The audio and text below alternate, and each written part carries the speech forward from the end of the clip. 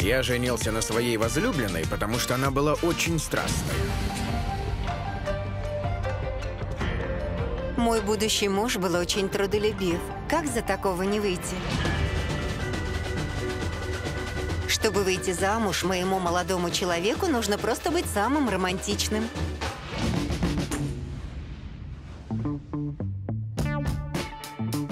А нам надо надеяться, что наши группы крови друг другу подойдут. В противном случае свадьба может и не состояться. Добро пожаловать в Бодрум. Это жизнь других.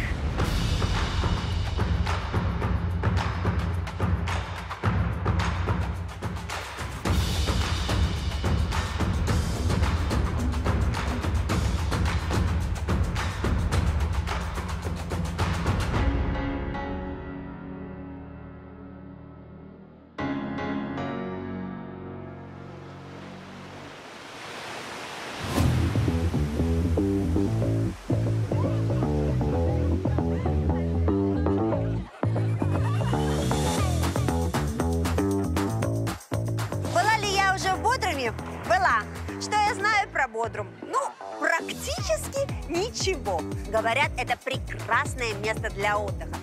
Море, бары, рестораны, яхты. Но вы же понимаете, что я сюда прилетела не про отдых вам рассказывать. Хотя, кто знает, может быть, роды и школы местные тоже считают отдыхом. Пришло время во всем этом и разобраться.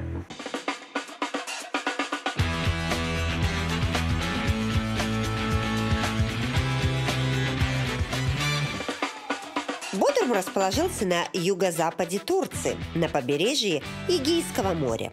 Живет здесь всего чуть больше 35 тысяч человек, но эта цифра в разы увеличивается в курортный сезон.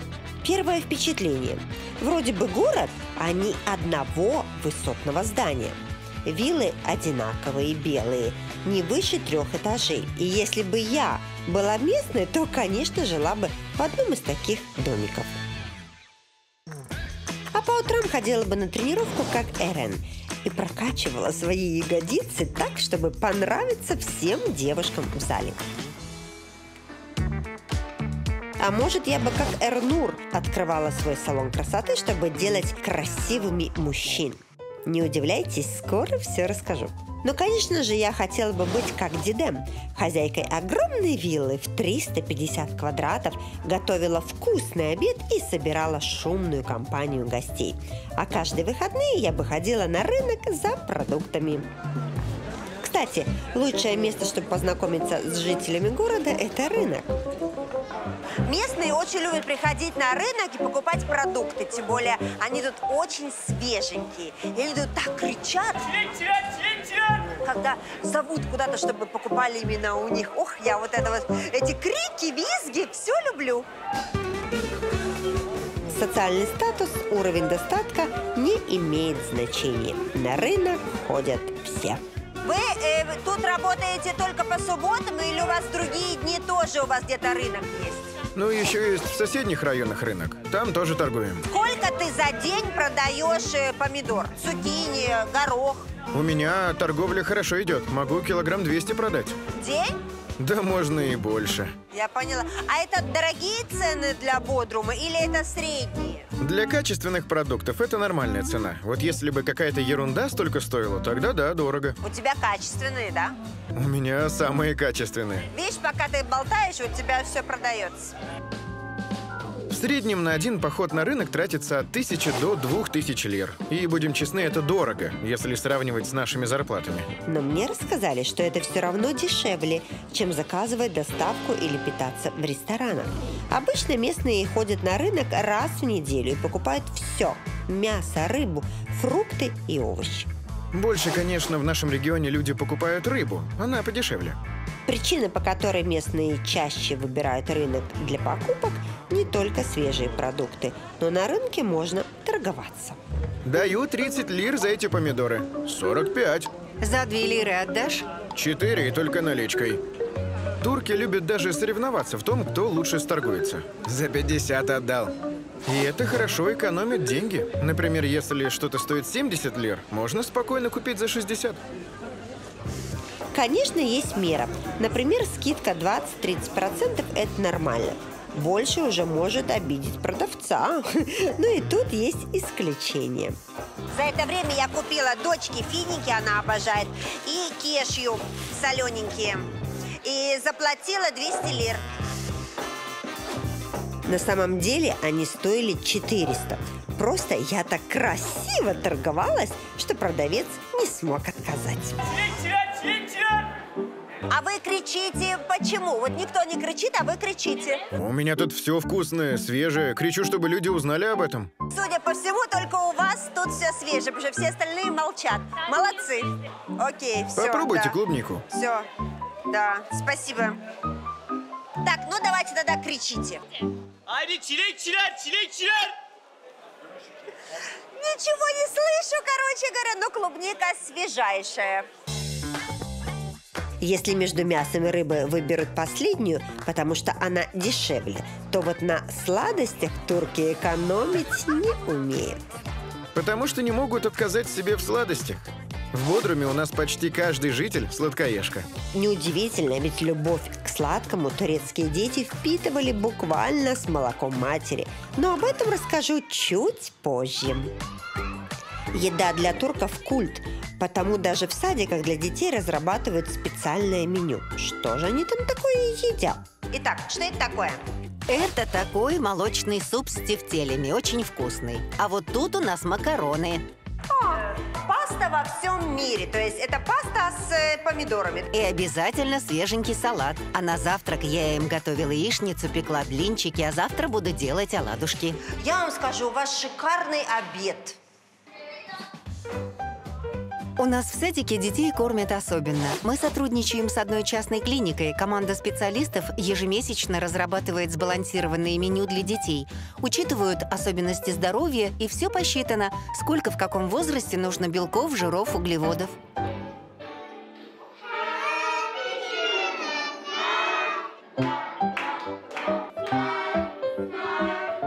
Что самое вкусное вам дают?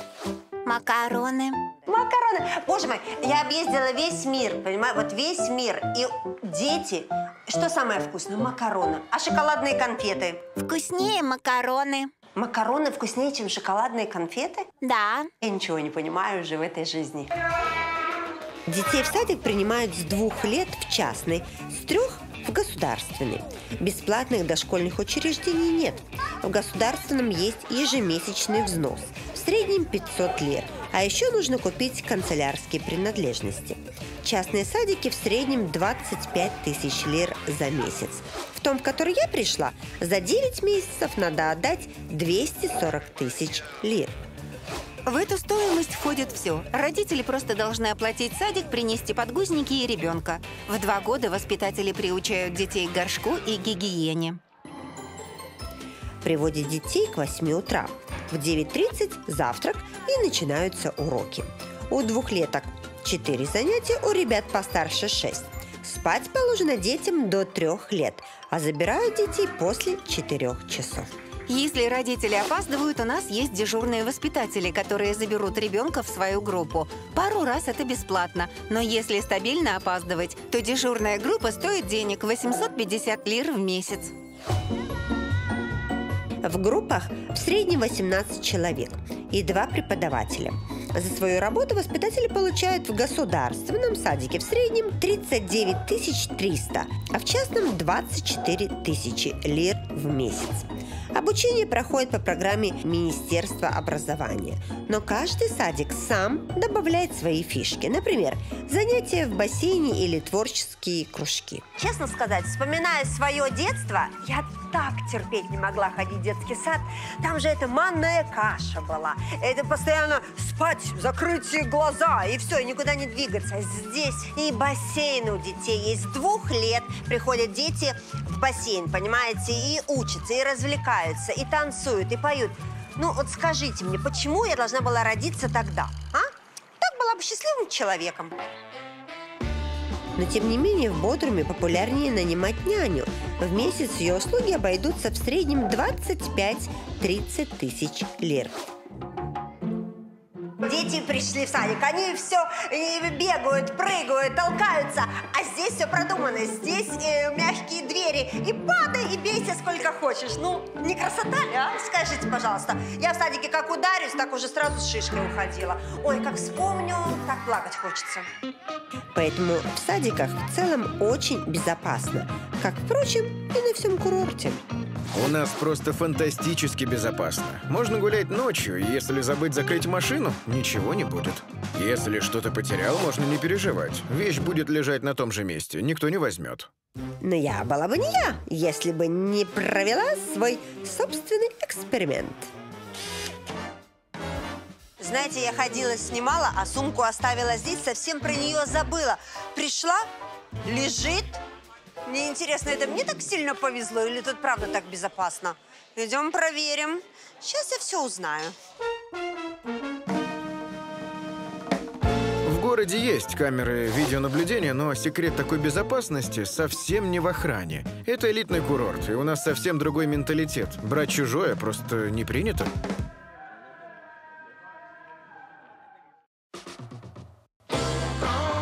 Отдыхать в Бодруме приезжают турецкие мировые знаменитости, причем из года в год. Арендуют одну из белоснежных вилл и устраивают там вечеринки. Первое, за что туристы любят Бодрум, это наши белые виллы. Для гостей это красиво, а для нас это главный бизнес. Каждый турок мечтает иметь домик в Бодруме, чтобы на пенсии он его кормил. За эти дома город называют второй Грецией, и местные этой схожестью с удовольствием пользуются. Ведь город живет туризмом. В сезон горожане выкладываются максимально. Тут говорят, как поработаешь летом, так будешь отдыхать зимой. Хотите купить недвижимость в Турции или в самом Бодруме, чтобы вся процедура прошла гладко и без рисков на понятном вам языке? Тогда покупайте через Международное агентство недвижимости DDA Real Estate. Более двух тысяч эксклюзивных объектов. Бесплатное оформление ВНЖ, гражданство Турции всем клиентам. Директор компании Сергей Дубинец. Его контакты оставила под видео. Приобретайте недвижимость безопасно и с надежной компанией. За год успешный риэлтор может заработать 100 тысяч долларов. А я даже знаком с теми, кто зарабатывал в 5-10 раз больше этой суммы. Ого! Хотя чему я удивляюсь? Самая дешевая вилла в аренду может стоить около 100 тысяч лир за месяц, а самая дорогая – до бесконечности. И 50 тысяч евро за день – это не предел. На одну такую я и решила заглянуть.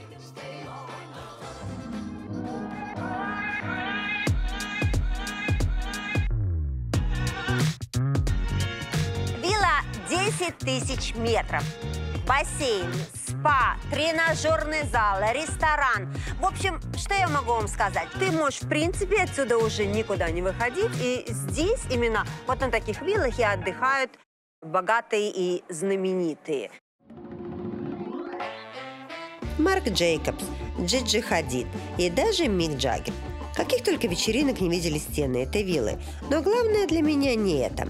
Местные жители могут зарабатывать тут достаточно хорошие деньги. Причем от официанта и до повара.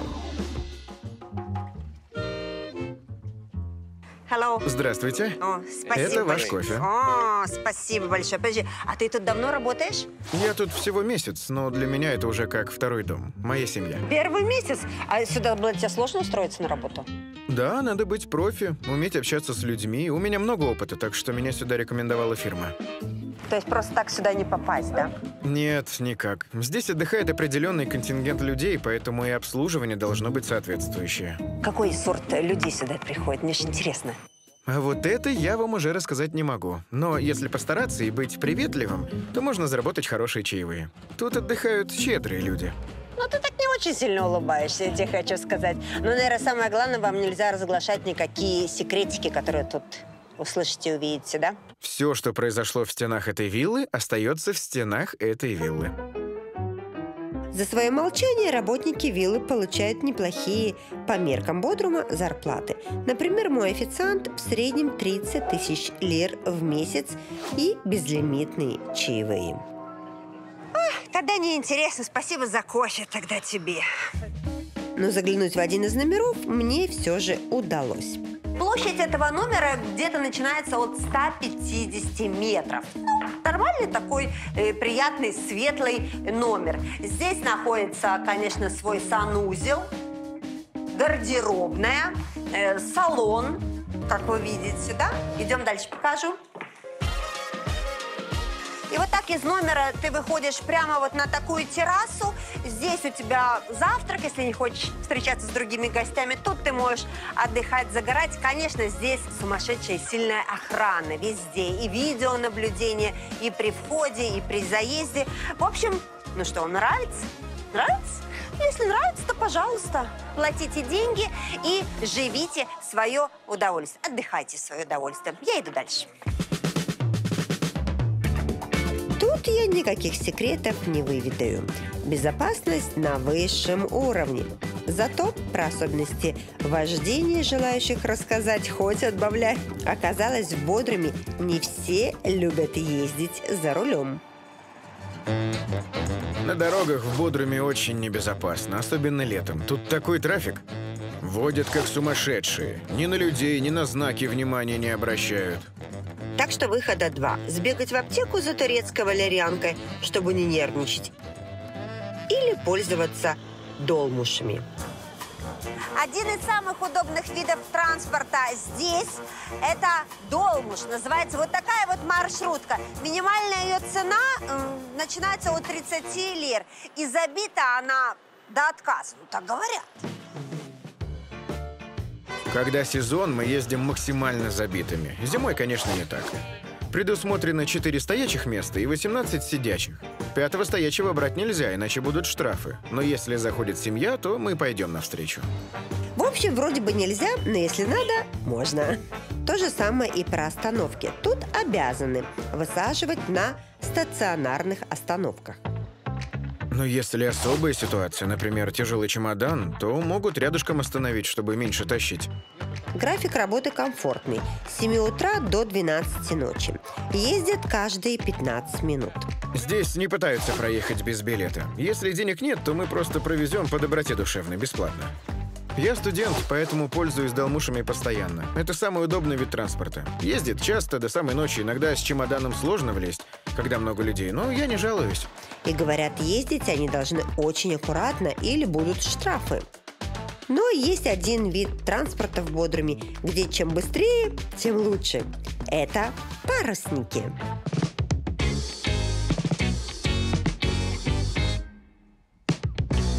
Когда твой ребенок идет заниматься футболом, ну, я понимаю, надо купить форму, там, я не знаю, ну, мяч в крайнем случае, правильно? А когда твой ребенок идет заниматься парусным спортом, это получается, что нужно покупать яхту? Идем разберемся. Считается, что в Бодруме дети в первую очередь учатся не кататься на велосипеде, а управлять парусником. Ой, скуза. Уже с 7 лет и мальчишки, и девчонки приходят в яхтенную школу, чтобы в 18 уже мастерски ловить ветер. Это что, выходит 10 лет учиться? Хм, неужели это так сложно? Слушай, а скажи, пожалуйста, что ты делаешь? Держи только парус свой. Я держу парус, а ловлю ветер. Моей новой знакомой 9 лет, и она уже два года учится управлять парусом. Выглядит, конечно, все это жутко. Маленькая хрупкая девочка, огромный парус и сильный-сильный ветер. А тебе не тяжело его таскать, объясни? Бывает, конечно, тяжело, особенно когда ветер очень мощный. Неудивительно, что в первый год обучения треть мальчиков и девочек бросает тренировки. На самом деле, в начале управление может показаться сложным, потому что не отточена координация движений. Но когда ребенок уже научится базовым навыкам, пройдет простые упражнения, то он будет получать удовольствие. Вот и все. А тебя никогда не уносит от такого ветра сильного? Это же кошмар какой-то. Ничего, зато ощущения такие классные, когда удается ветер поймать. Слушай, ну ты одна в этой лодке, ты не боишься? Иногда со мной тренер, иногда я сама. Не боюсь, я уже научилась. А у тебя хоть жилет есть какой-то спасательный? Конечно, все продумано и все безопасно, но главное весело. Если бы вы попробовали, вам бы тоже понравилось. Ты очень большая молодец. Я даже этот парус держу, мне уже сложно. Парусников умеет, понимаете, а мне сто лет, и я не умею ничего. На, малышка, держи, у тебя уже палец пораненный, ты видишь, будь аккуратна. Какой кошмар! Но оказывается, для учеников страшнее не самим улететь или пораниться, а парус порвать, потому что он сам по себе дорогой. Да и сам спорт, как гольф в Европе, элитный, модный, для тех, кто может вкладывать в него большие средства. Обучение стоит пять с половиной тысяч лир в месяц, а еще надо потратиться на свой парус и дополнительную одежду. Около тысячи евро. Это элитный спорт, но очень популярный. Да и вообще, один раз покупаешь парус и одежду и хватает надолго. Но потом начнется взносы туда, сюда, участие в гонках. Правда, если круто выступить на соревнованиях, которые проводятся в Бодруме чуть ли не каждые выходные, можно выиграть приятный приз. Но пока до этого дойдет, родителям придется вложить полмиллиона турецких лир за 10 лет обучения. И это только оплата школы. Я бы своему ребенку сказала перед соревнованием. Только попробуй не выиграй. Шучу, шучу. Если посчитать садик или няню дорогой спорт, то выходит, что или с пеленок надо откладывать деньги на воспитание ребенка, или на всем экономить.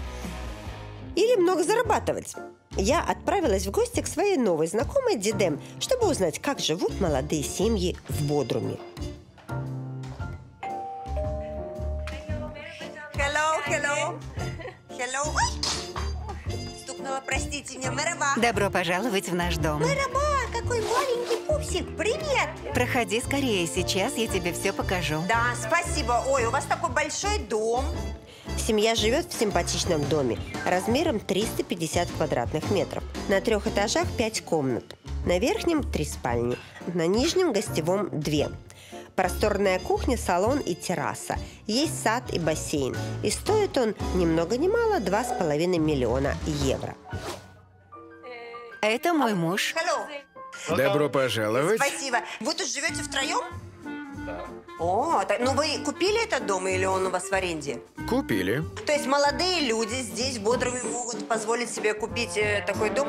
Нет, обычно молодежь арендует квартиры или живут с родителями, но у нас была не совсем стандартная ситуация. Нам помогла родня, мой отец и дед, все мы архитекторы и риэлторы. Дед и папа купили эту землю и построили 10 одинаковых домов. Это наш семейный бизнес. Мы сдаем их в аренду, и вот удалось заработать и приобрести один из них себе. Оказалось, что всеми любимые белые маленькие дома сыграли с местными злую шутку.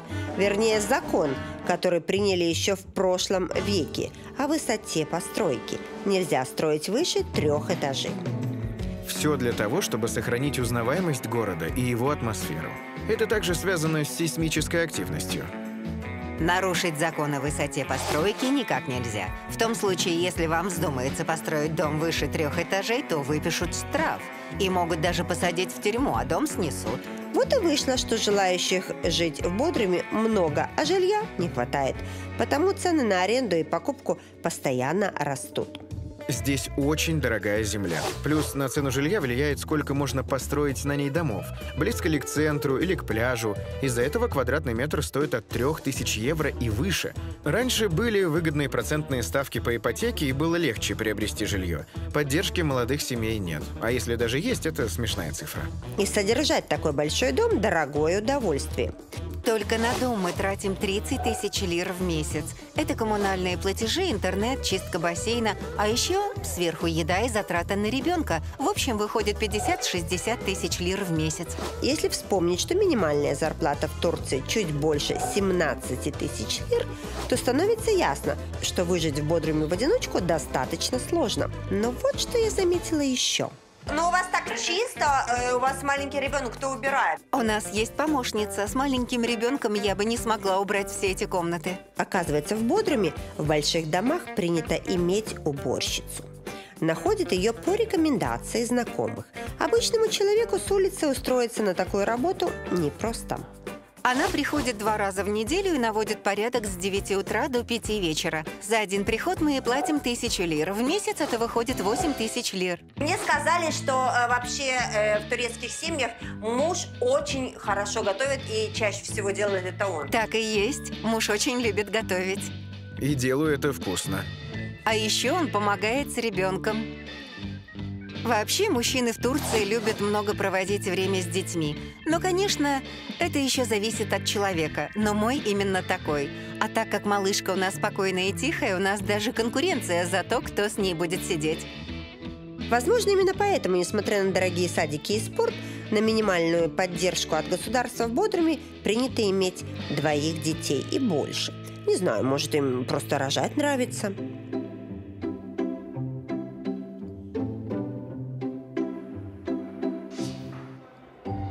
Роженец попадает в больницу уже тогда, когда у нее практически отходят воды и начинаются схватки. И самое главное, что с ней в этот момент могут прийти родственники, причем в любом количестве. Хоть мама, папа, соседка, муж, друг, э, сотрудники. То есть все, кто поместится в комнате, те могут приходить. О, Господи!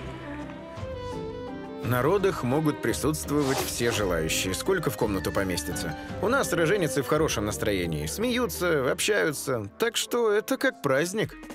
Я бы, наверное, не хотела себе такую группу поддержки. Тем более, что на родах вы не встретите незнакомые лица. В Турции принято. Врач, который ведет беременность, он и принимает роды. Чаще турчанки выбирают именно частные роддома.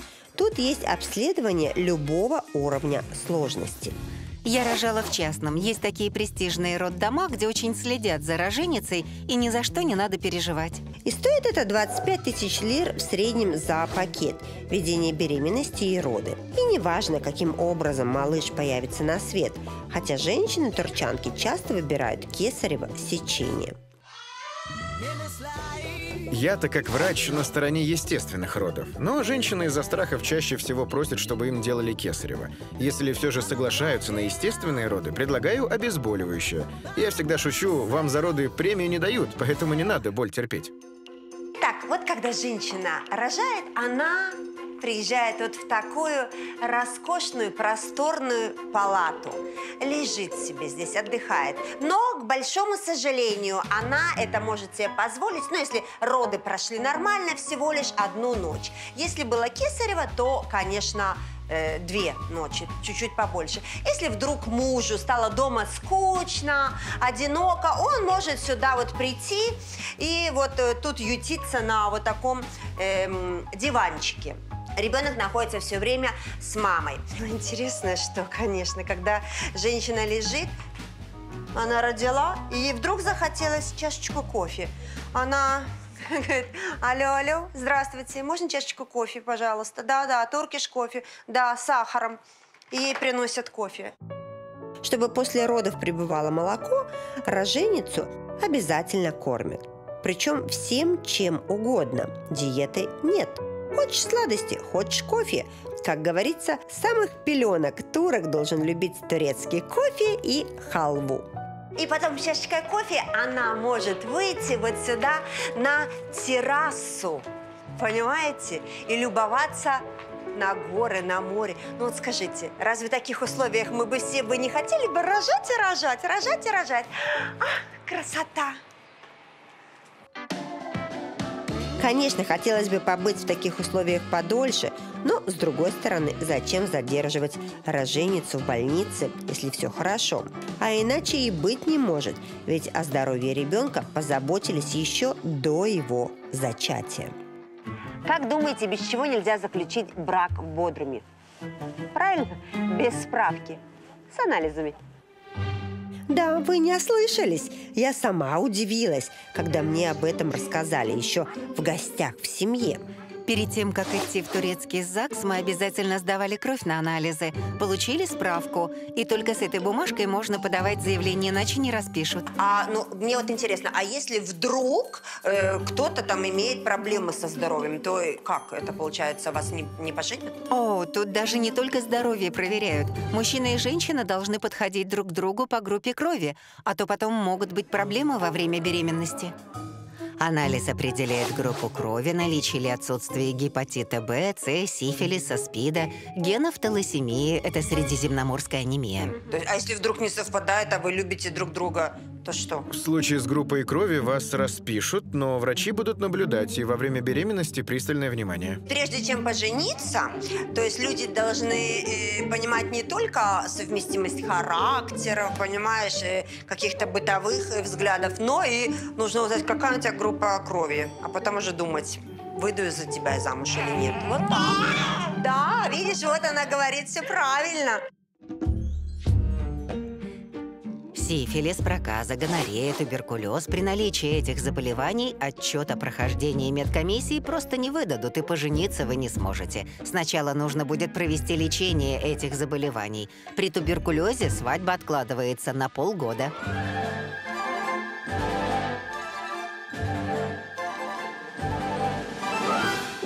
Любовь любовью, а здоровье нации прежде всего. Чтобы дети были здоровые и красивые. Кстати, о красоте. Ей тут уделяют повышенное внимание. Я утром, когда просыпаюсь, я э, сюда себе положу патчи, э, вот так вот положу себе маску, потом э, маску на волосы, потом там еще какую-то световую маску. В общем, завтра у меня массаж, послезавтра у меня маникюр-педикюр. Ну, я так живу, да. Клянусь вам, мой муж утром встал, почистил зубы, и все, и он уже красивый. Ну, мне самое интересное, что сказали, что э, здесь, в Турции, мужчины делают то же самое, что и я.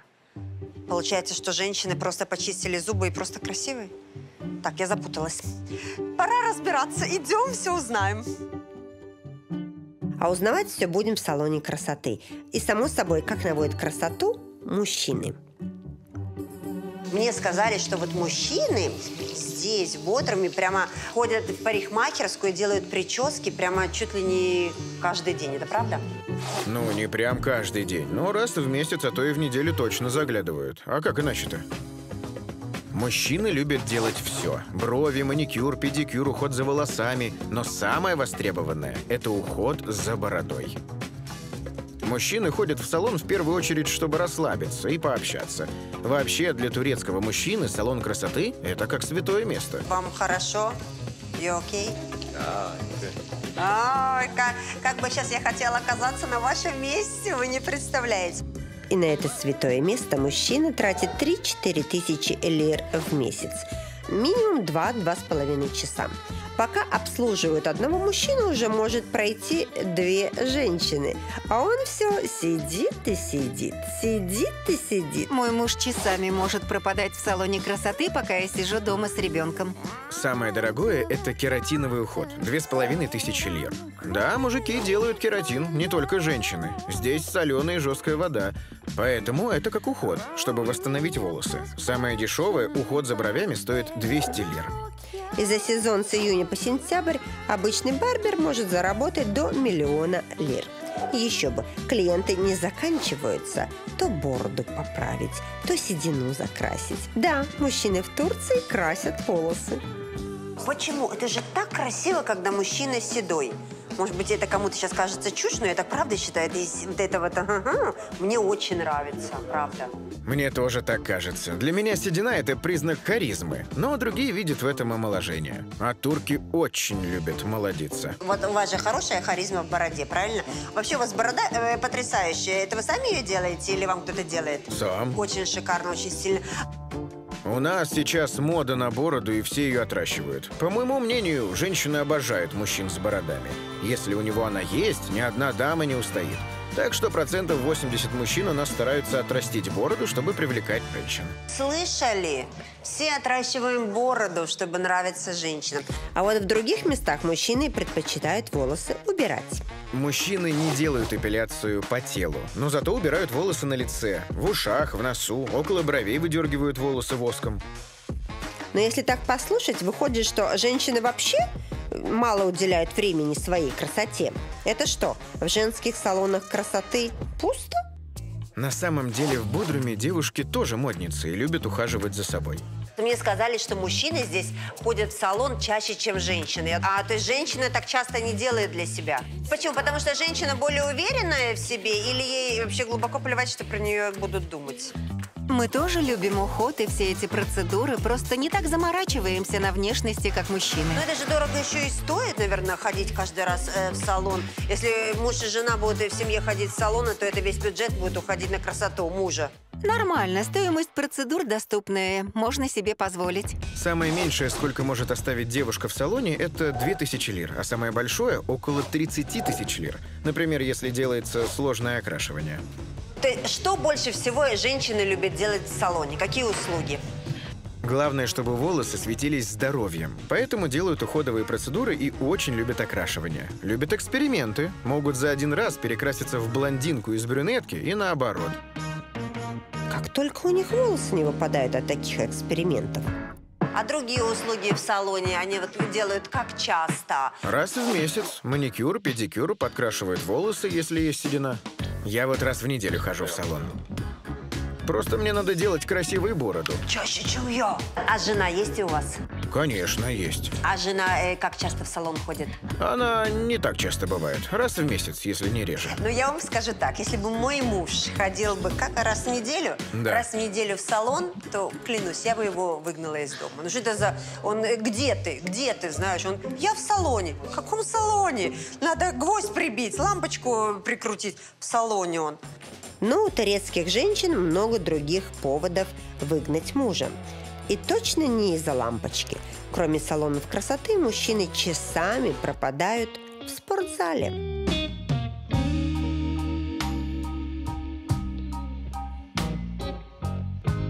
Господа, делаю сенсационное заявление. О, Господи! Первый раз в жизни ради вас я пришла в спортзал. Признаюсь, не терпеть не могу. Прям терпеть. Танцы, шманцы, это да. А вот эти вот ваши вот эти спортивные... Ой, боже, а что ж такое? Да? Я не понимаю, для чего, что это за радость, понимаешь? Но говорят, что э, турецкие мужчины очень любят тут проводить время и знакомиться с турецкими женщинами. Так ли это? Я не знаю, только надо кофе выпить. Господи, как можно это любить? Какой-то кошмар. И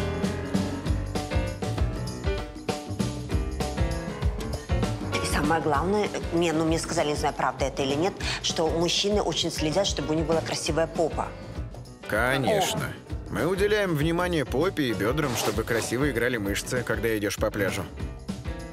Женщины всегда оценивают спину и попу и придают ей особое внимание. Если у мужчины красивая попа, ни одна девушка не устоит. Я не знаю, девочки, как кто из вас, но я обращаю внимание сразу там... Я на что, господи, что я, знаешь, я сразу, знаешь, у меня кроме попы уже ничего и нет в голове прямо. Но на попу я, я обращаю меньше всего внимания. Там, ладно, еще пресс, ладно, еще там плечи. А попа тут при чем? Для мужчины. Вам виднее.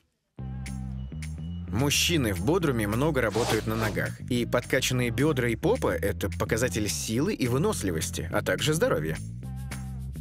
Чтобы приходить каждый день в зал и качать свою пятую точку, надо отдать 10 тысяч лир за полгода. За месяц в среднем 2500. Индивидуальные занятия с тренером еще 1000 лир. Неудивительно, что тренер в среднем за месяц получает 50 тысяч лир.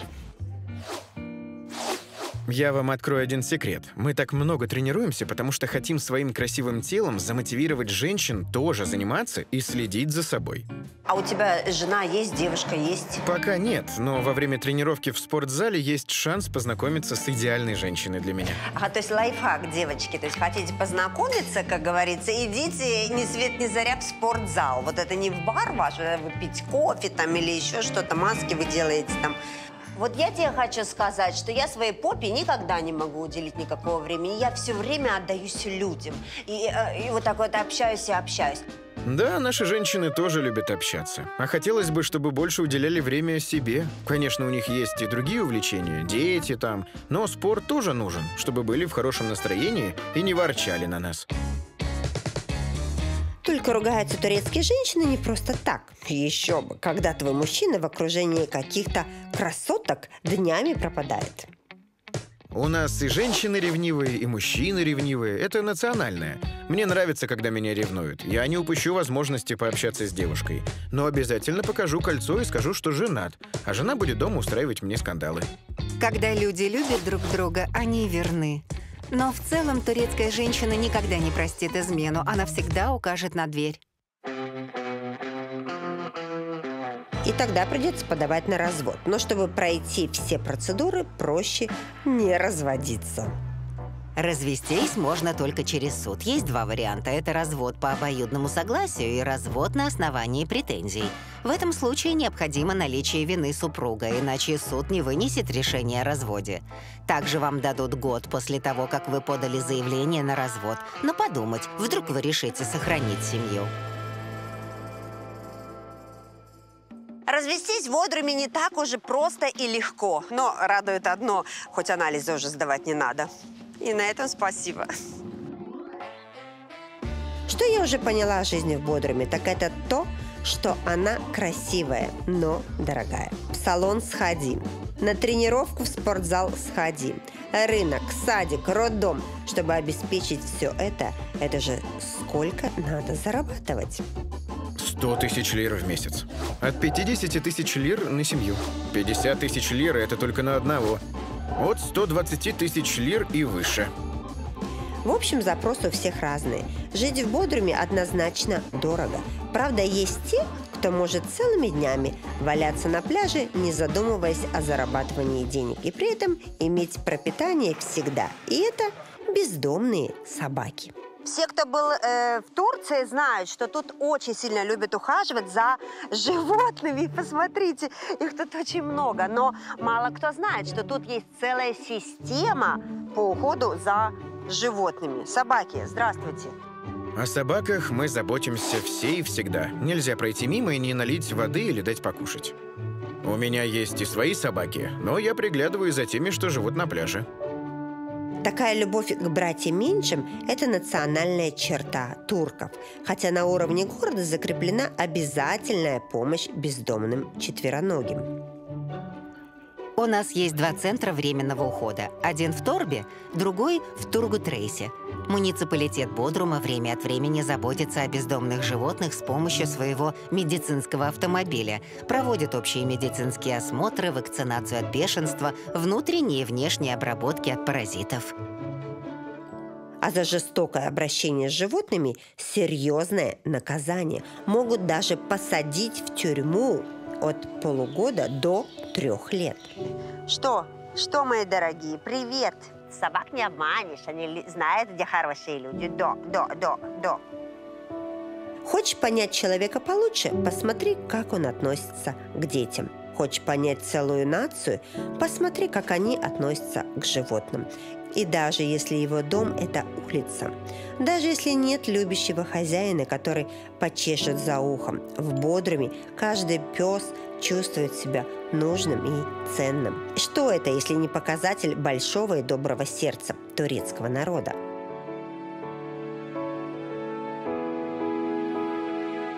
It's no use living if you're already dead. It's not worth saying if it's already said.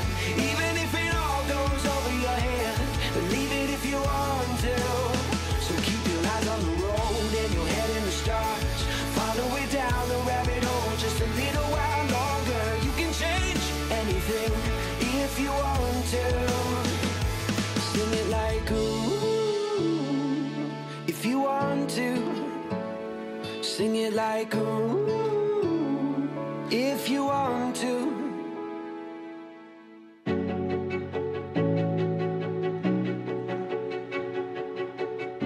В мире, где нужно так много успеть, где все летят навстречу переменам, так важно остановиться на миг – погладить бездомную собаку, обнять ребенка, вдохнуть соленый морской воздух, увидеть красоту в каждом вокруг.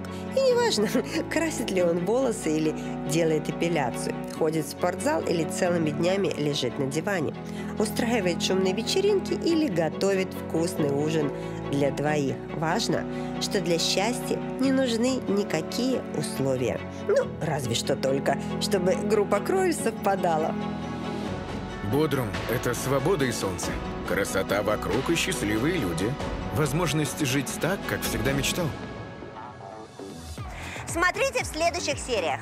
Я продолжаю разбираться в отношениях турецких мужчин и женщин. Вы обращаете внимание именно на мужские бедра? Протестирует турецкий юмор. Сейчас смотри, что будет. Ай, машалла, карбала. И разберусь, чем заняться в Бодруме на пенсии. А вот это мой друг.